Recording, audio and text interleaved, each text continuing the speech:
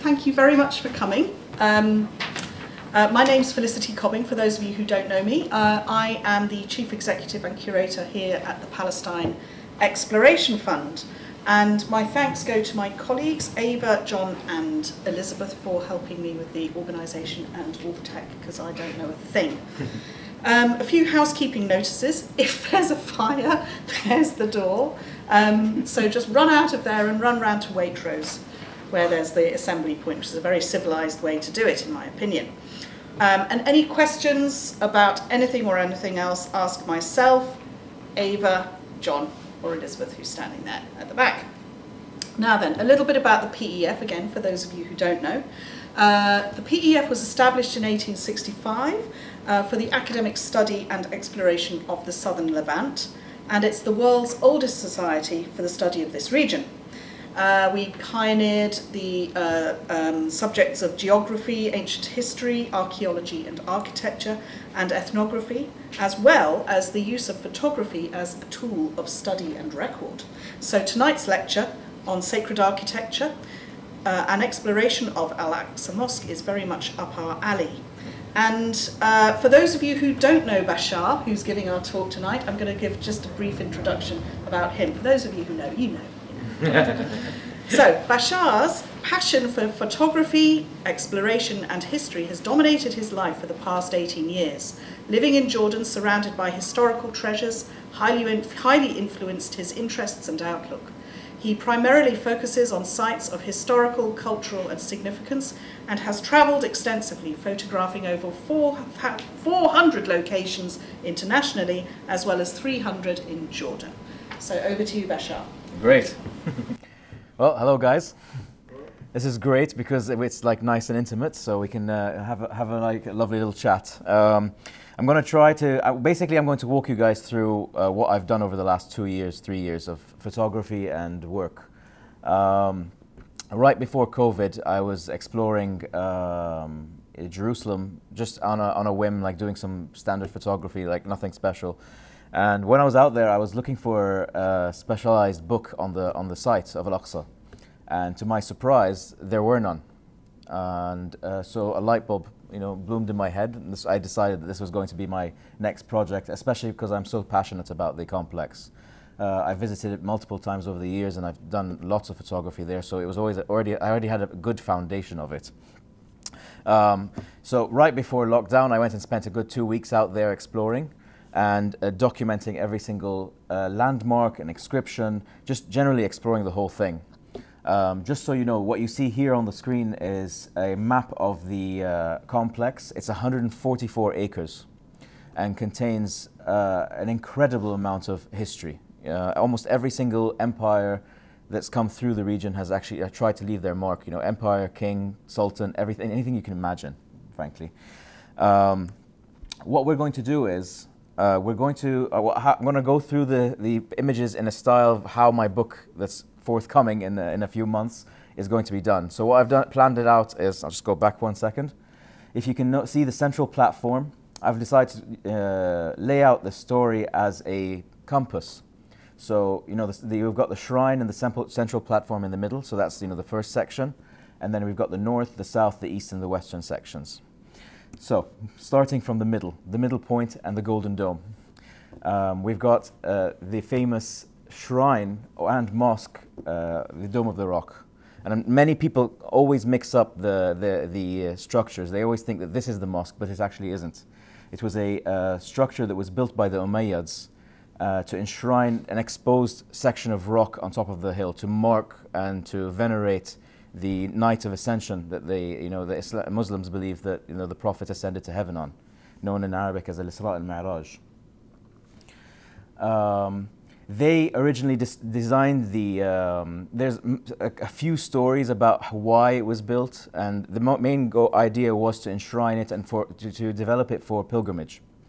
And that's why it's got like a circular uh, structure to it. Now, from what you can see here, uh, the lower section is the original marble that the Umayyads had you know, put on it, but the upper section is actually much later. Uh, the Ottomans came along and, and put their own style of uh, blue, blues and golds. And the Golden Dome also is quite new. It's actually maybe 50 to 60 years old, I think. No, uh, 30 years old. from King Hussein, who um, had it done. I should warn you, I am a photographer. I am very much uh, in love with this stuff, but I do mix things up. um, as you can, I'm going to go like through the images so you can be entertained. Shall we just try to get rid of that in the corner? I was going to suggest we did, but I didn't want to interrupt. Yeah, So it's just got it's got a thingy on the top, right? It come up and no, it won't because it's hidden. Come, come here. Oh, Perfect. Um, they, uh, so what the Umayyads had done there, there was originally a mosque in the southern section of, of the of the complex, which is the original Al Aqsa Mosque, also known as Al Qibli. There's a, there's as we're going along, I will give you more information about how the naming, because there's, there's a jumble of names about the place. So um, there was the original mosque that the um, the Caliph Umar had constructed in the in the southern section. But when the Umayyads came along, they wanted to venerate this, and they built this structure up. And what they did was they built a raised platform uh, and built the shrine on it. And that's, uh, that leads us to later on, like talking about other platforms, but like this becomes like a theme throughout the whole co- complex, platforms. Um, here you can see a section from the northern side with the doors that you can go through. There's like a, a lovely inscription um, from uh, Abdul Malik Marwan. This has got uh, Quranic verses. There's another inscription on the other side that's just a dedica- dedicatory um, inscription to hi- him building it and things like this. Um, it, it is a beautiful building. It's one of the most, you know, uh, captivating ones with in terms of colors. This was taken in evening, so when they had all the lights on the inside, you can see the windows. Um, and one thing I like to always point out to people is uh, the reuse of um, materials from previous eras. And if you can see at the center of the picture, at the bottom, there's a um, odd-looking uh, piece of marble and this is a reused marble slab from a that they had uh, found on the site, and they used it there. And it, it's got two wreaths on the sides, and it would have originally had crosses in, but they were like either rubbed out or removed. Um, oh, here's a close-up view of the tile work, as well as uh, the Quranic verse uh, that talks about Al-Isra al-Mi- al-Mi'raj, the ascension. Um, what do you call it? Um, a section from the Quran and it goes all the way around. There are other uh, inscriptions all over the building, um, but mostly are just you know uh, caliphs saying what they had improved, uh, you know, removed. Over the years, almost every single structure throughout this uh, the complex has been modified in some way. And until even to this day, we you know you constantly see like improvements. You know, there's cle- in cleanup operations, all kinds of you know uh, improvements to the to the site. Um, here's a beautiful shot of the interior. Um, this was also uh, this has been like this is also a mishmash. On the left, you can al- you can see on the ceilings these are the Ottoman era uh, modifications to the to the mosque, whereas you have the uh, a mixture of Fatimid and uh, Mamluk additions along the sides. The inner band is the original Fatimid inscription and Umayyad.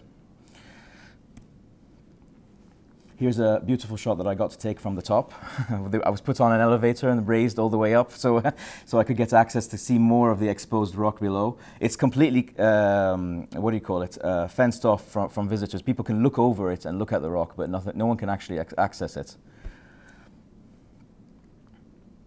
Um, and the top there, you can actually see a an Ottoman era shrine. And um, uh, I'm not sure how much uh, you guys know about this, but like the Ottomans uh, had a, had a very strong, um, uh, what do you call it, relic um, culture.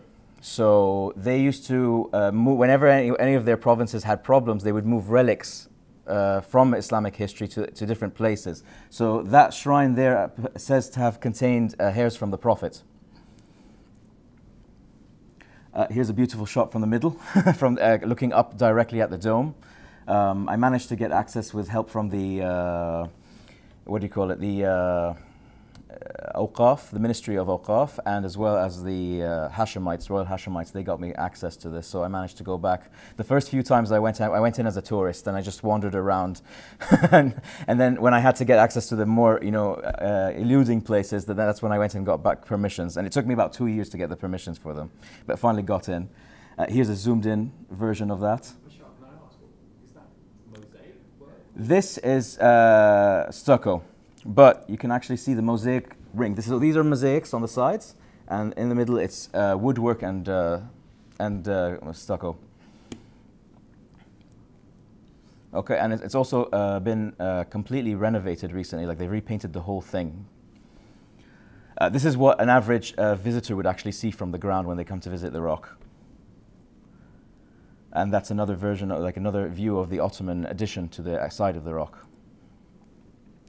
So moving on, we're going outside of the building. I'm going to show you a number of the domes. So uh, there was a, a, number of domes exist around the central platform. Uh, each has varying um, uh, possible you know, uses. The first one is the Dome of the Chain, which is absolutely beautiful. And um, no one particularly knows what it's used for. Uh, the, the, the, theories are that it's either a mock-up of what the, the Dome of the Rock was going to look like, or it was supposedly a treasury, but no one, then this is a common theme that you see when you're trying to research about this place. Like, um, you constantly have this sort of, we don't really know, we suspect it might be A or B, but there's no proof or it's been lost into time. Um, here's the interior of it. So that's all tile work on the inside, top and bottom. Uh, this is a, another um, dome, and this one specifically uh, was designed because there's an exposed section of the, the rock as well. So in Muslim tradition, like they, you know, they, they say that the Prophet came and he, sat, he was ascended to heaven on the rock. So they, they don't particularly know exactly where that was. So wherever there was exposed sections of rock, they would build, build a dome on top of it to protect that section in the central platform. Of course, in the northern sections, they, there's also exposed sections, that they, but they have not done anything. There's actually, they're actually carved away. Um, this is another dome, but this one has a different uh, specific meaning. This, has, this arose out of uh, the legend of Al-Khadr, who is a um, mystic figure in all, all Abrahamic uh, religions. And legend has it that Al-Khadr, uh, who is one of the three people who are immortal in Islam, uh, visits uh, Jerusalem every Ramadan and spends Ramadan there. So at some point, possibly during the uh, Fatimid era, this was constructed you know, as a thing. And there's an, even a Sufi uh, Zawiya right underneath it. Um, this is, uh, you can see the dome of a ascension, and behind it is the dome of the Prophet. Both are protecting um, exposed pieces of rock. And the really interesting thing about the Ascension is that it was built by the uh, Ayyubids, so that's Salah ad-Din post uh, Crusades. And you can actually kind of see that they reused Crusader era uh, construction materials. It looks very, very Crusader and Gothic in, in style. And there's a big argument whether uh, this is originally Umayyad or it was actually existed prior and they've just cleaned it up and re reused it.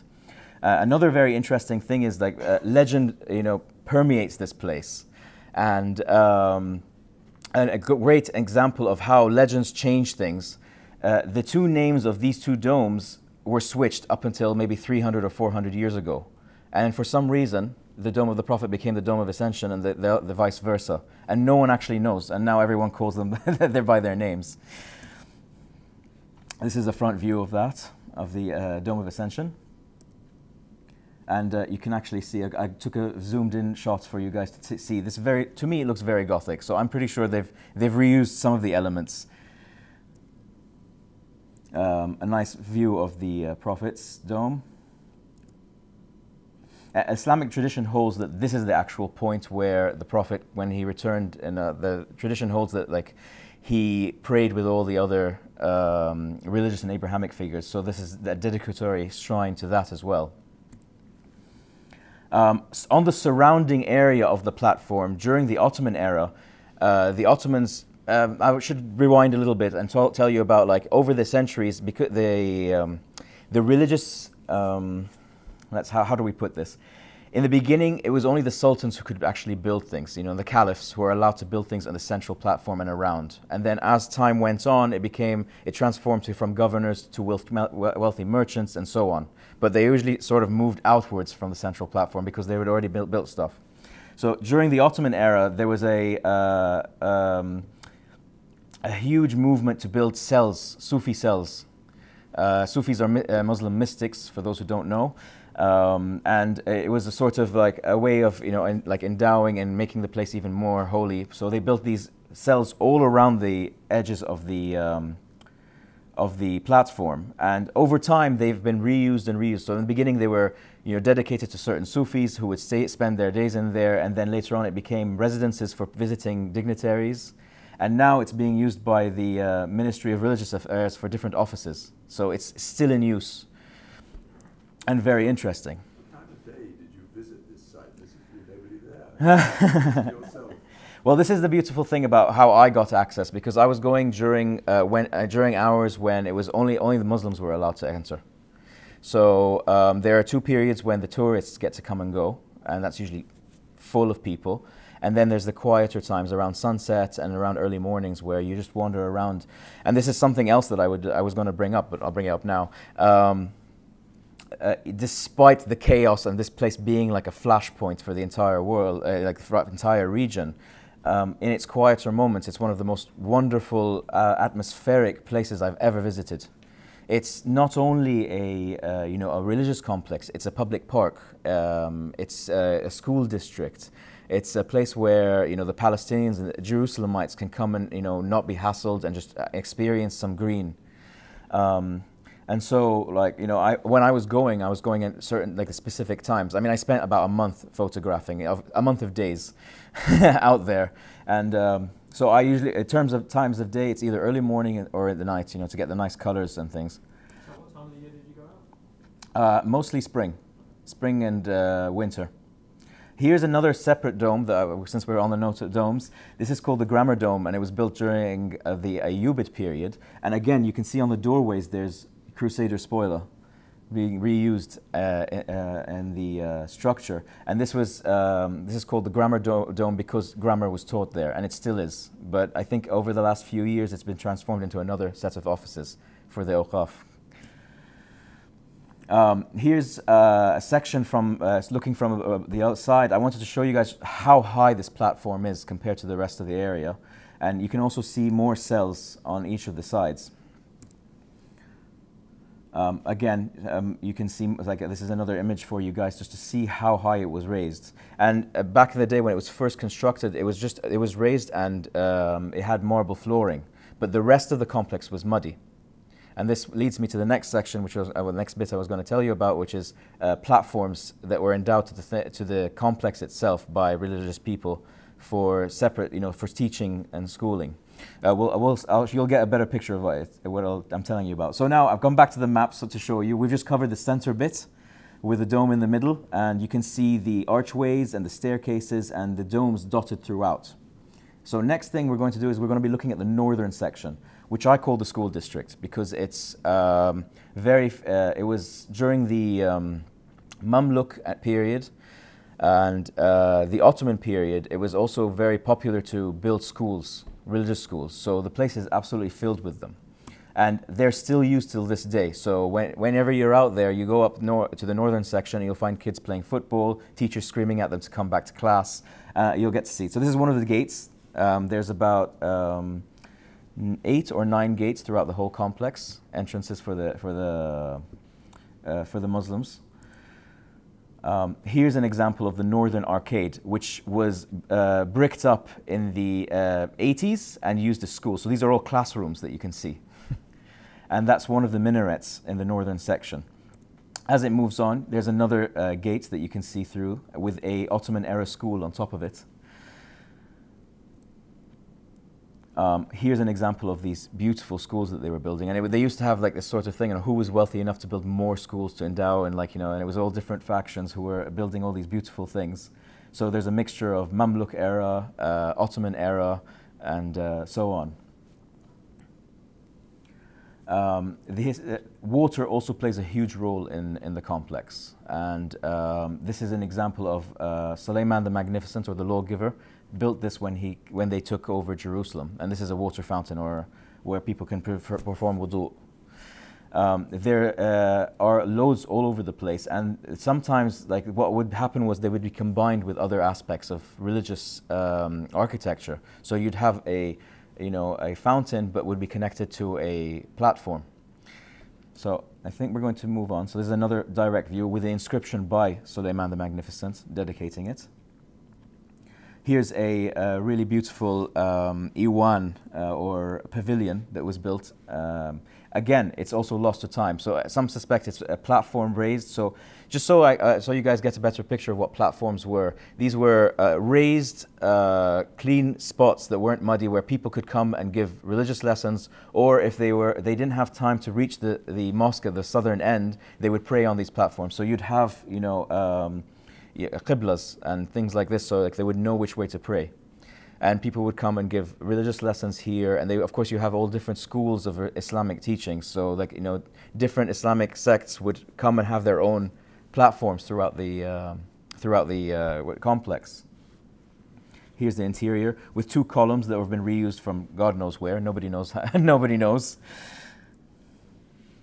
Um, here's a form a dome the, in the nor- in the northern section. This is called the Dome of Suleiman. Uh, everyone thinks it's Prophet Suleiman, but it's not Solomon. It's actually the um, the Ottoman Caliph. Um, it houses a section of rock, exposed rock as well, and in front of it is a perfect example of a uh, platform that I've been telling you about. So these are dotted all over the place. There are countless ones. Um, by my count, I think I've, I've, photographed about 50 or 60 of them throughout. And every single time I go back, I find more. the northern section is also, the northern and eastern sections are also filled with uh, olive trees, uh, which is really beautiful. And it is a very, very picnicky area where, where people go to. Um, here's another uh, one of the uh, minarets that's connected to the outer rim of the complex. Uh, we're moving on from there. We're going now. We're going to go uh, look at the western side of the uh, of the uh, complex. Now, one thing you have to know is the western side and the northern side are the sides connected to the city. The east and southern, the southern one's blocked off because it dr drops down into to a valley, and the eastern side is the outer walls of the city and also the graveyard. So access would have come mainly. All the people would flood through this section and this gives this area a completely different feel because there's a lot of these platforms for people to access, uh, fountains, and schools. So here's an example of one of the, the schools in the northern, in the eastern section. Uh, sorry, western section. Uh, and there's also arcades underneath, but these haven't been bricked up over the years. So you have got these lovely arcades uh, with the doorways to the old schools. And the really interesting thing about it is because this is close now, uh, closer to the city, these schools have stopped being used and have been transformed into tombs for to you know for and modern tombs for people who you know of significance of note to be buried here. Uh, this particular tomb ho is home to uh, one of the Ottoman governors who uh, built uh, some of these platforms. Here's another one of the entrances with the platform in front of it. Uh, again, more platforms as you can see. I wanted to give you a, show you like ver the variety that you see in the different styles, and of course these you know differentiate. There are centuries between some of them. Um, some of them actually have fountains, water fountains connected to them, while others have massive um, fountains on the sides. One of the most interesting ones that I love is this one. It's called the Sha'lan fountain, and uh, so it's it's a cell which I mentioned early on with for Sufis. It's a, a fountain, uh, which you can see on the bottom, and it also has a platform extending outside. so it's a one-stop shop for, for uh, who built it. But the really the more interesting thing is nobody knows what the original name of the place was. This is the Sha'lan fountain because the Sha'lan family used to be water carriers. And for the last few centuries, they're the ones who were used to supply water in that area and be carrying, used to control the water source, basically another uh, form of uh, platform that you can see with uh, a uh, Mamluk era uh, water fountain in the back. This is one of the most beautiful doorways that you can see. This is the Cotton Merchant's Gate and uh, absolutely gorgeous piece of Mamluk architecture and uh, it's connected. I wanted to share a couple of shots, but I thought it was there were too many. so you can you, what, what would be happening here is that they would have built well, it still exists is a beautiful uh, covered market inside with a hammam, like traditional Fatimid style. They would always do this whenever they would go into new cities, and it still exists till this day. So they, they, you just go this long hallway full of markets and things along the sides. Uh, here's another version of the tombs, uh, reused schools along the same arcade. And I've even got a lovely picture of the interior. Um, this is the tomb of um, uh, I think it was, I'm trying to look it up really quickly.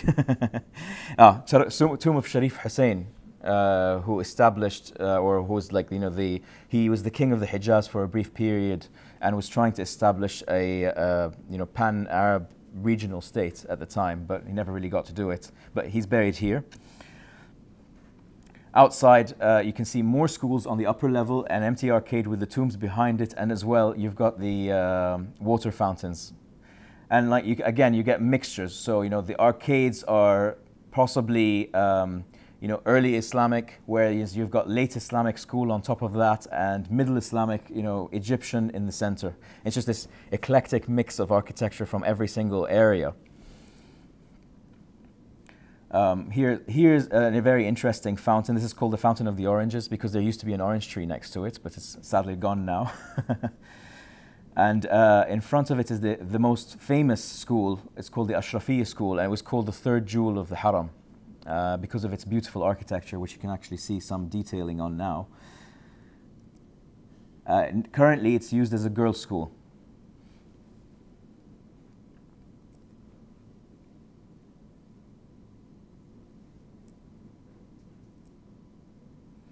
Uh, moving on, we're moving sou uh, southwards towards the, uh, the bottom of the complex, and there's a continuing, continuous amount of these extra pieces of or extra elements that you, you the people were using. So um, this is the uh, dome of Mu Musa, Moses. But again, people used to think it was Moses the prophet, but it actually might be one of the caliphs.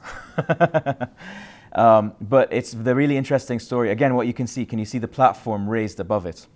Um, the, other, the interesting thing is that this is a, um, a structure that was built for me the memorization of the Quran. And it was one of the first structures built in the Middle East. And it's still used to today.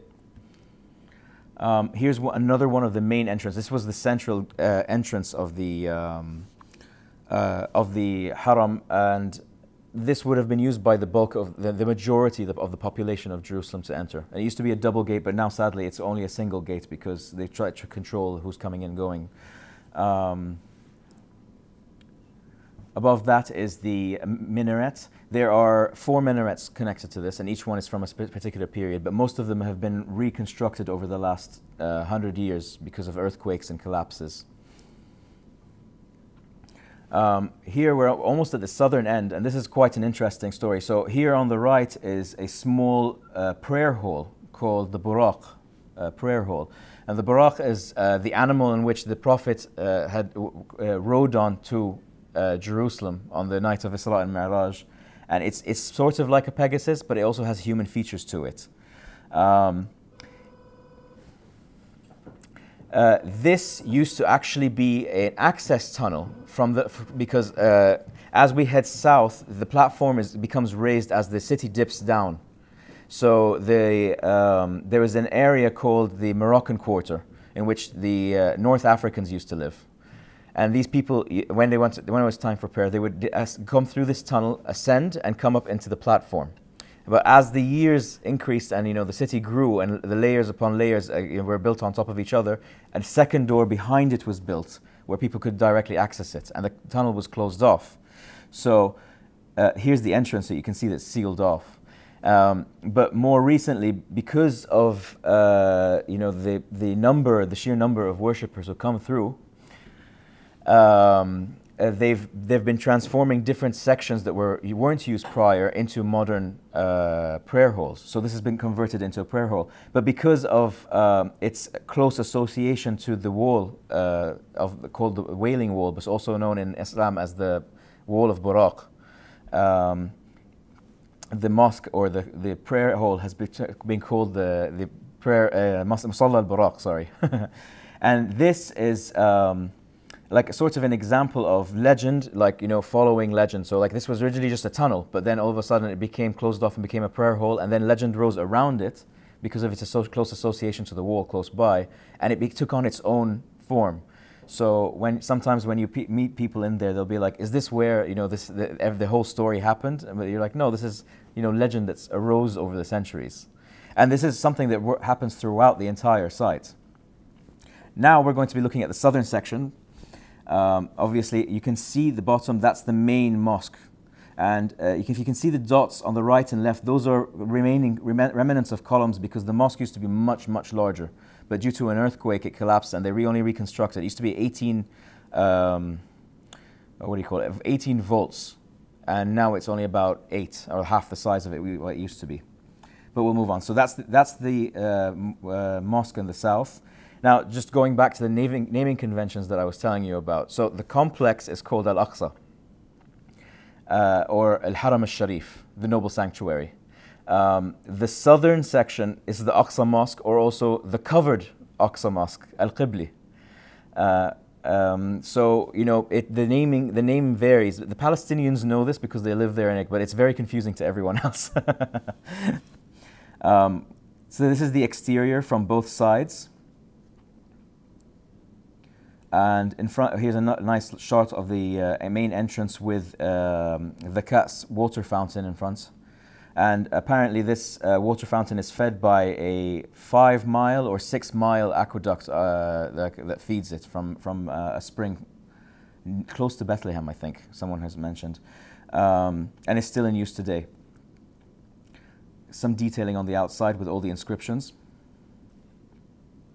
Uh, this is an interesting se- section on the left hand side. So, this is two different dynasties. And if you can guess by the window on the left, this is a Crusader era window um, with a, a Fatimid or Mamluk era uh, doorway on the right. And uh, during the Crusades, the, the whole compound was taken over by the Crusaders. And this was the seat of power of the, of the kings of Jerusalem and queens of Jerusalem. Um, uh, for a number of years before they moved out to one of the citadels outside the city. But the Templars later on, later on took it over and reused the structures. So every single structure will, would have had like stories to it. But one very interesting thing about the interior, as you enter, the interior back, the Crusaders didn't really destroy anything. They just plastered it up and made their own rooms. Uh, so when the Ayyubids under Salah ad-Din retook it, they managed to restore a lot of the uh, ancient interior. Um, here's a beautiful mosaic panel from the early days, from early Islamic, the early Islamic period. Um, the roof is actually quite modern because it was burnt down in, this, in the 1969, but restored recently under the Hashemites. As you go deeper inside, here's a lovely detailed shot of the, fl- uh, the, fla- the floral patterns, as well as an inscription on top. And you can see, uh, here's another note of like, you know, um, rulers you know, uh, adding their own voices to things. If you look in the top left corner, someone's added an extra note on the on the inscription in a later period.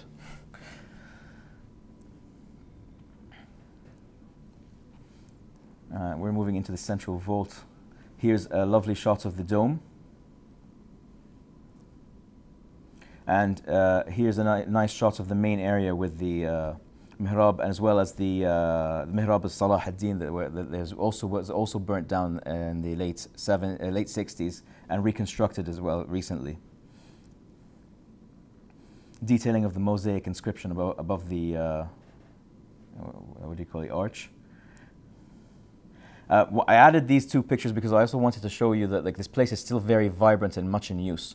Right next to the mosque, right outside, is the window factory and uh, it's pur- purely made out of by hand. All the windows of the, of the structures that you see are made out of hand using uh, plaster and glass, and it takes them, you know, three to six months to make each individual window. And uh, like I was, I only got, I only managed to get access to this recently, and I was blown away of how beautiful, like, and how they reuse these sections and uh, how uh, it's sort of everything is located inside. You know, you've got the administration, you've got the awqaf, you've still got worshippers, and it's a, this another addition to this beautiful complex. There's another uh, former uh, Sufi lodge um, that's now the uh, marble factory. So anything that's destroyed, they, they have they take over. None of it is made outside. Like only the certain elements are produced outside and brought in. Um, uh, on the left of the uh, of the Grand Mosque is are there are two other mosques. One's called the Women's Mosque, which is now converted into a lovely library. And there's also another. Oh, that's the uh, other minaret of the structure. And then you have the uh, the Mosque of the Moroccans, and like uh, it's kind of um, uh, misleading. When you think of Moroccans, you think of Morocco, but this actually means Moroccans as in the North Africans, because they were a separate school from the Jerusalemites, uh, an Islamic school. And now it's actually the uh, museum. It's been converted into the museum. underneath the uh, the, the Grand Mosque that we just saw is a beautiful thing. They, another misleading title. This is called the Old Mosque, the Old Al Aqsa Mosque, but actually it was a tunnel that connected the Umayyad era palaces outside the city to the to the main uh, complex, and you can see a lot of the beautiful ancient detailing on the domes above, but. Um, they've been sealed off and also turned into lovely libraries. So this is one of the biggest libraries in the, the in the thing, and it's right underground.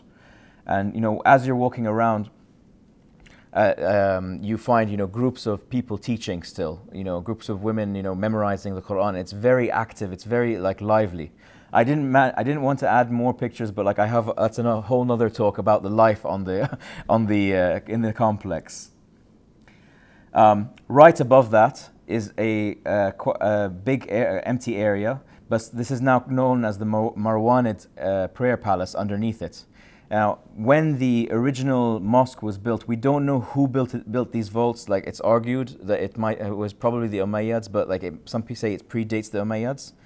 So uh, the southern edge of the complex dips down into a valley. So what they had done was they had built, uh, built these massive arched vaults to continue this uh, this you know the platform.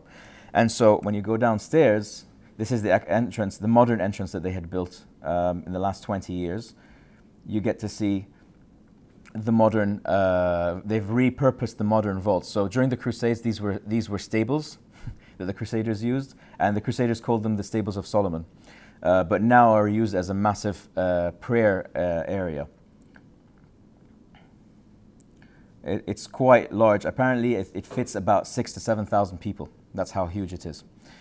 Um, and very, very interesting thing, in the farthest corner is a little room with this dome in it, and it's an Ottoman wooden dome called the Cradle of Jesus. And this is another thing about like you know how legend you know pushes legend. So apparently at one point there was an inscription uh, during the um, Fatimid period. Uh, the Fatimids were again go back for those who don't know. The Fatimids were the Egyptian rulers before the Crusades, and there was this inscription that said that claims that uh, Mary had stayed in this area. So push four centuries later, when the Kaiser was visiting from Germany, the Ottomans built this dome.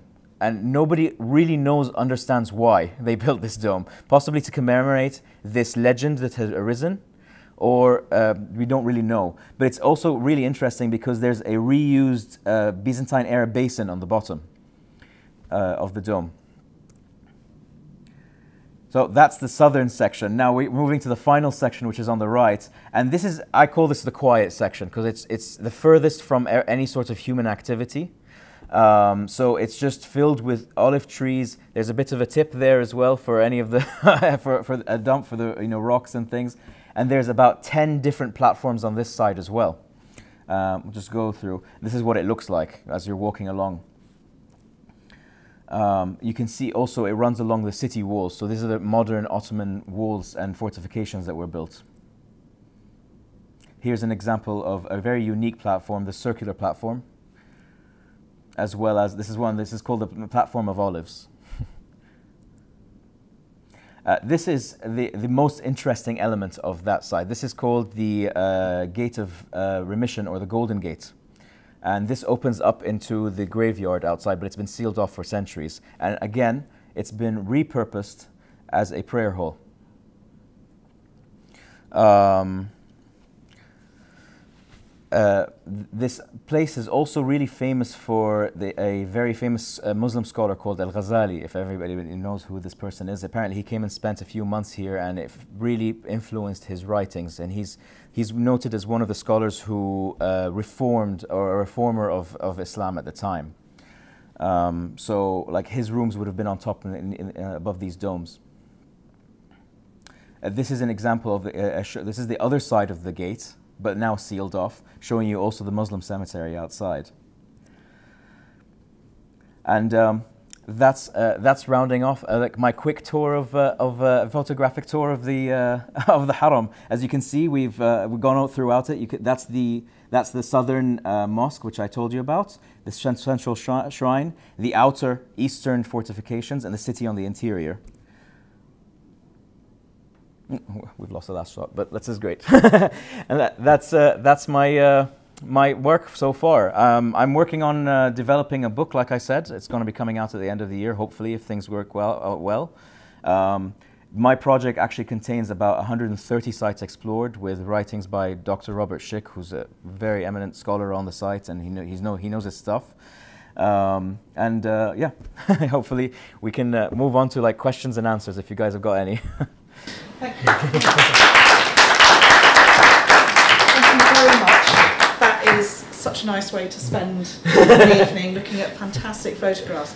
One thing that occurred to me is that you, there's this tradition of putting your own mark on, on, on, the, on the building, on, on the enclosure. And, but, but the examples that you show, they all date to the 19th century and earlier. Mm-hmm. Um, I imagine that it's quite a complicated thing nowadays. It's extremely complicated. Like that. Yes. Um, but it would be wonderful, wouldn't it, if some because also you know Islamic architecture is something that has evolved so much since. Yeah. Wouldn't it be wonderful to see a 21st century little shrine, a little they, dome? Well, they, know, they the do. Like there are a lot of the modern platforms are, are dated to the recent decade, few decades, and there are a lot of there's a couple of new brand new fountains that they've okay, managed to build. So they are still marking their territory. Okay uh, but not in the grand fashion, you know. yeah. And like for example, the lower area above it, like that, this all, the, all this you know marbled area that you've been seeing in, the southern section is all modern. Yeah. It used to be muddy and like you know people would you know, apparently there's stories of. Uh, them having to put down wooden planks from the central shrine to the mosque so people could, didn't have to put their shoes back on when crossing you know, things like this. but King Hussein's regilding oh, of yes. the dome yeah, that's very much that's, that's a big statement as well. In so the, in uh, the 90s. So for those who don't know, the uh, the dome, the central golden dome that you guys see, um, was actually the same color as the Qibli Mosque. It was this dark, a dark lead yeah. dome, and um, King Hussein funded the the gilding of this.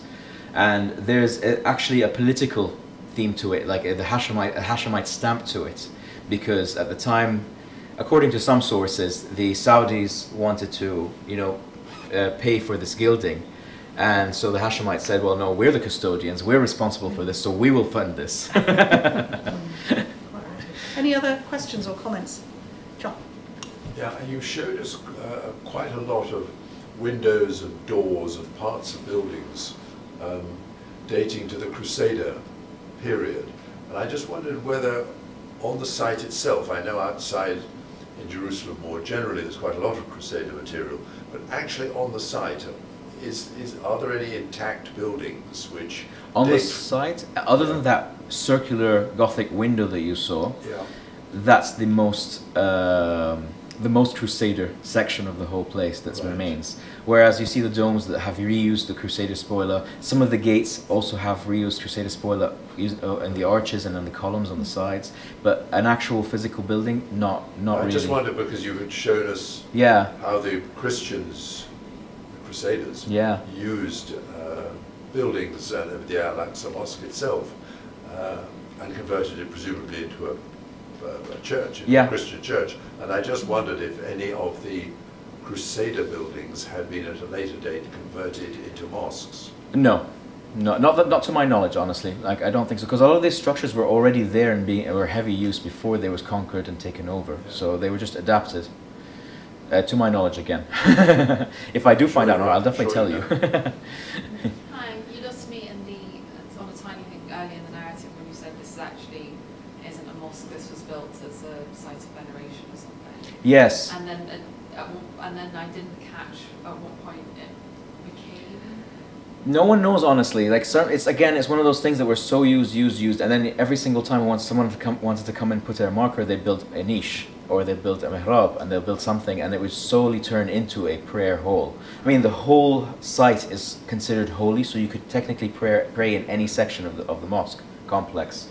Um, And just back straight away saying this was not originally a mosque. yeah, yeah. It, it wasn't. Well, it, so it was intended as a, like I said, like a, a place of pilgrimage. But obviously, as Muslims visit the place, they would want to pray in it.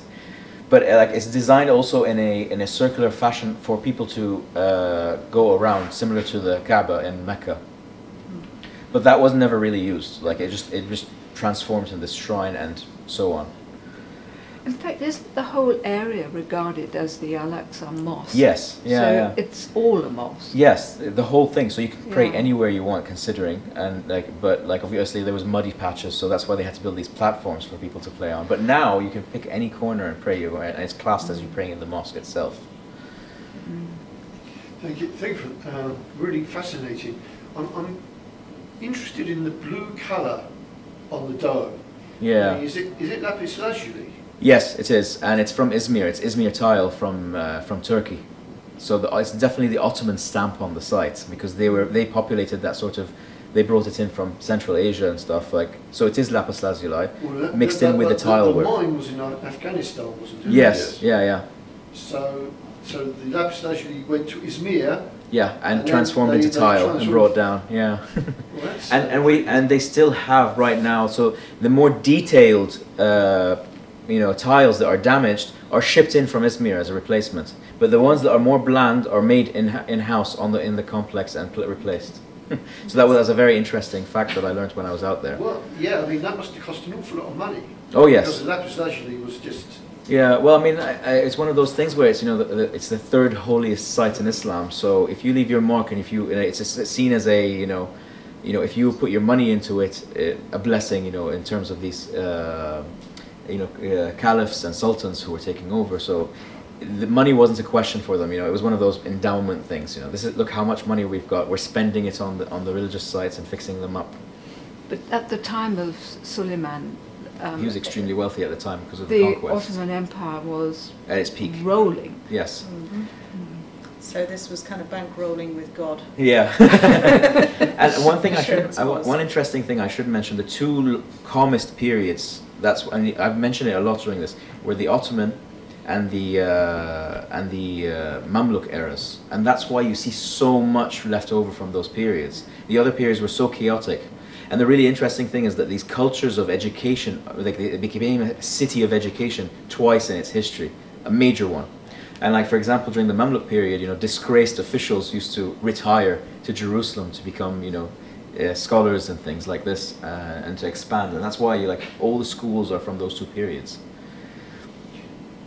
Just as a follow up, what, what are the opening times to get into the complex? All right, for, for foreigners, um, there's the. I Or infidels? Yes, yes. um, I think there. I think it, it's 8 a.m. to 10 a.m. and then there's the prayer, and then it's 12 till 2, I think. Yeah, And you can only access it through one gate. That's right. And you've got to start queuing. Yeah. But it's, Uh, it's not every day, is it though? Um, I mean, five days a week, I think, Yeah. last I checked.